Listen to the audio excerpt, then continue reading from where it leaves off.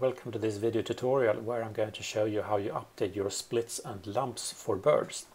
As a bird you probably know that there is taxonomic research going on in the world and that makes um, it necessary to keep up with name changes when two species are combined, they are lumped, or when they are split into separate species due to new research. And uh, we always uh, post here under news uh, when the IOC and Clements lists are updated, so keep a check here. And uh, by the way, you can also, uh, under your account settings, choose if you are going with IOC or if you want to go with Clements. And in this case, I will do IOC. So let's go back now and have a look at the tool. So you go to observations and you go to update splits and lumps and you click on birds and uh, this may now take a while because it's loading all your observations that you need to deal with. Uh, so we'll do a fast forward here but just uh, wait for your observations to come up. So here it comes. Update your splits and lumps. And uh, I've mentioned about the count settings and I will also highlight here the question icon question mark icon that is here.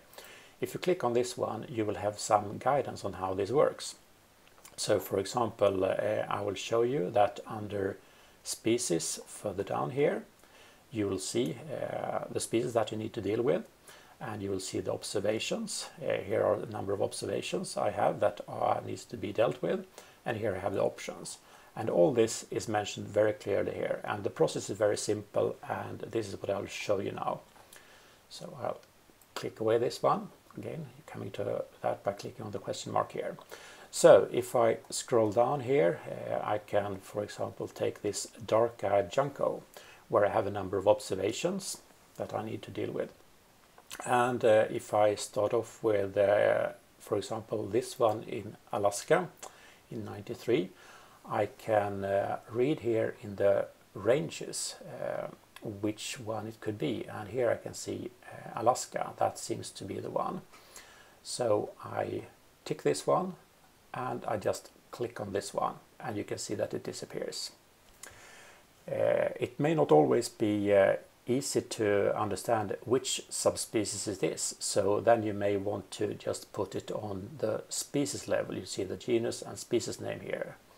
Uh, so you can click on this one in the case of, for example, I take the Arctic warbler here that has recently been split into Arctic, nominate, and Kamchatka and Japanese leaf warblers.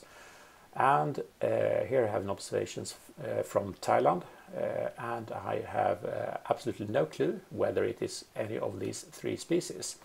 So then I may want to tick here and then delete it. Uh, I can also go into edit my observations and uh, put it as Arctic Warbler, keep it as Arctic Warbler and put as don't count because I cannot be 100% certain it was an Arctic Warbler so I don't want to count it on the list. So a few different options here.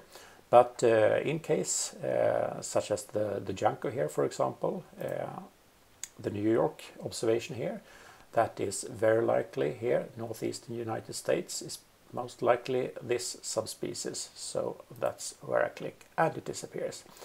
So if you reload the page, uh, all these uh, that you have managed will disappear and you will be fine until the next uh, IOC or Clements release and then you go into this tool and manage it.